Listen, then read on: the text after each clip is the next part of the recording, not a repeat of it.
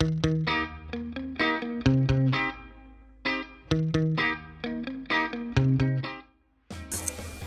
what do you want to be when you grow up, Gabriel? Architect. So how about you, Liam? What do you want to be? ice cream and salt, suck and pour milk and check whether it makes up. Oh, an ice cream machine man for So can make ice cream for anybody uh, and see one. Do you love ice cream?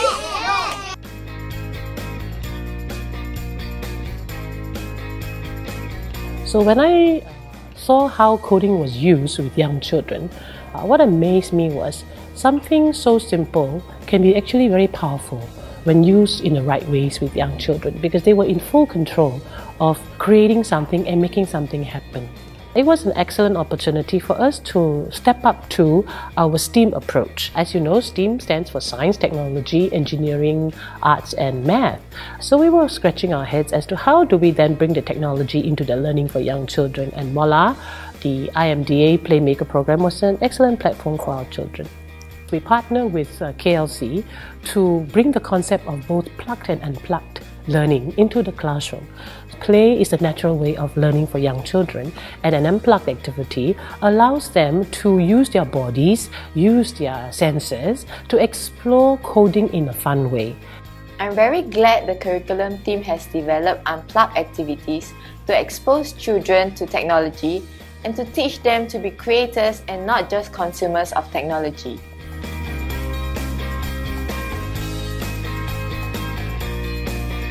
I've observed that whenever we bring out the toys during the conduction of lessons, they get very excited. They're always asking when is the next lesson.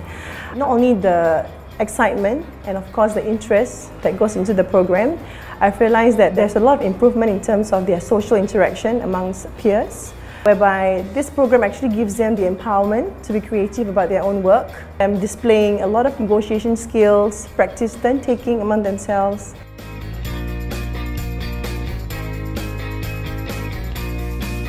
It is very important to get them familiar and proficient with technology since this is the way forward uh, in everything that we do in life that's going to be all technology based and no better time to start when they're young. He's uh, been really excited since he was introduced to Code-a-pillar in school. This is a very classic uh, case where pedagogy leads technology to create good learning outcomes and in the process it benefits the kids and that's why we think the Playmaker is going to make a huge impact in Singapore and hopefully around the world. So coding may be a very simple thing to do, but it is actually a very powerful way to put the control into the hands of children to create the things they want to create. Ta-da! What is that? An ice cream machine. Wow! and they make a lot, a lot of ice cream. Yeah.